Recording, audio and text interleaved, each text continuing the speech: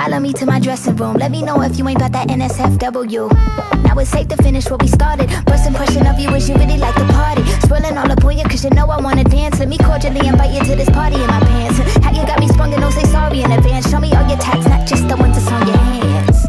Who's your designer? Is that birthday suit one of a kind on? Everything about you look like it's on purpose. God was working, probably took some extra time though. Hey, all up in my curves like a puzzle piece. Mmm, jig it, sorry, let me see all my so Mmm. Kama